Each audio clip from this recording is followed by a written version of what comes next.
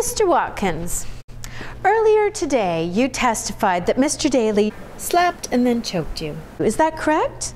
Yes. For no reason. No, he didn't say anything. I have no idea why he choked and then slapped me. You said he choked and then slapped you. Yes. But you said in a newspaper interview that you were slapped and then choked. No, no, no. He choked me first, then he slapped me.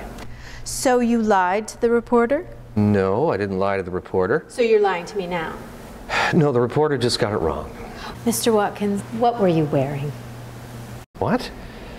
Uh, t-shirt and shorts. I was mowing the lawn. Does that really matter? A shirt with a collar.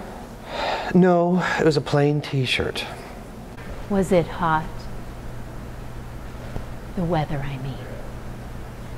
Well, yeah, I guess. And what did you do after the alleged incident? Well, I was a bit shocked. Did you call 911? Scream for help? Defend yourself like a regular person would do? No, I took a step back, okay? I, I didn't know if he was joking or if he was mad about something. And how did that change your relationship with your assailant?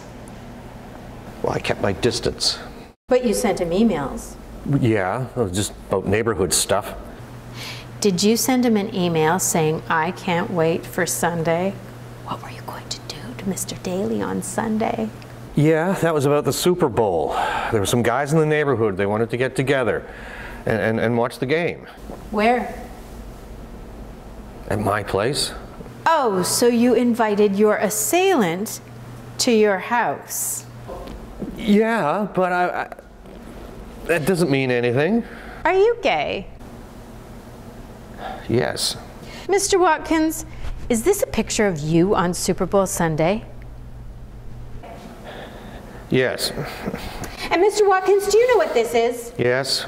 It's a banana. Have you ever choked on one, Mr. Watkins? Yes. And this? What would these be? That's my Speedo. Did it ever occur to you, Mr. Watkins, that you enjoy being choked and slapped? In fact, I'm thinking of slapping you right now. Show of hands, who in this courtroom would like to slap Mr. Watkins right now? Oh, come on, this is ridiculous. I mean, the reason why I'm here is because that guy over there, he choked and he slapped me. I thought it was important that other people knew that what kind of animal he is.